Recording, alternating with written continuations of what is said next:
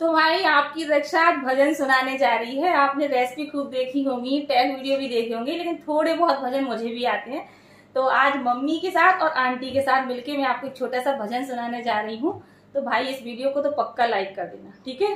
तो देखिएगा, और हाँ हंसना नहीं अगर आवाज़ अच्छी ना हो प्लीज़ चलिए। नाम की